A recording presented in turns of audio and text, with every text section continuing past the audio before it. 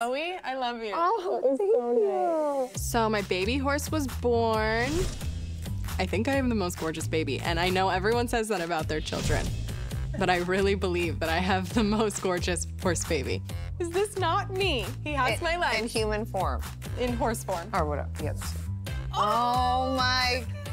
It's like your Dobermans too. I didn't get to see the birth. It happened at 1 a.m. and I was asleep and I didn't hear my phone ringing.